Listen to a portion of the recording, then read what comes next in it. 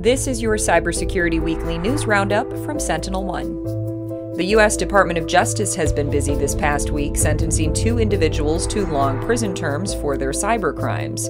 Ryan S. Hernandez, aka Ryan West or Ryan Rocks, was sentenced to three years in prison for spearphishing a Nintendo employee, stealing his credentials, and downloading confidential files such as the then much anticipated Nintendo Switch console, which he shared in gaming forums.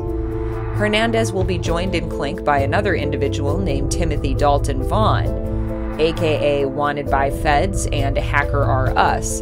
Vaughn was a member of the Apophis Squad, a worldwide collective of computer hackers and swatters.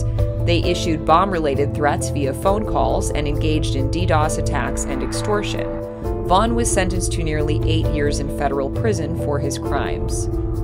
Security researchers at IBM have released findings concerning a malicious cyber campaign aimed at attacking a COVID 19 cold storage supply chain.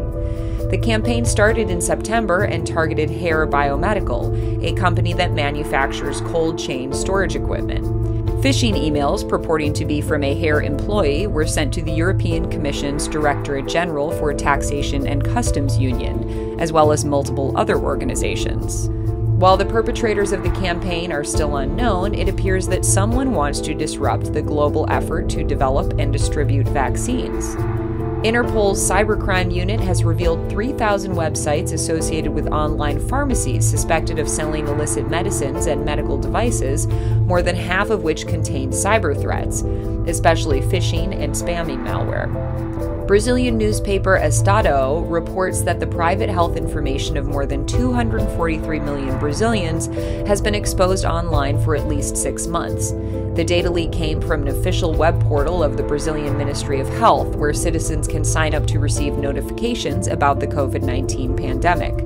The site's source code contained an administrator username and password that enabled access to the Brazilian Ministry of Health database. The Egregor ransomware gang was very busy last week, infecting Kmart department stores, Vancouver Metro, and Randstad, the world's largest staffing company. Randstad, which employs over 38,000 in 38 countries, states that only a limited number of servers were impacted and that their network and business operations continued without disruption.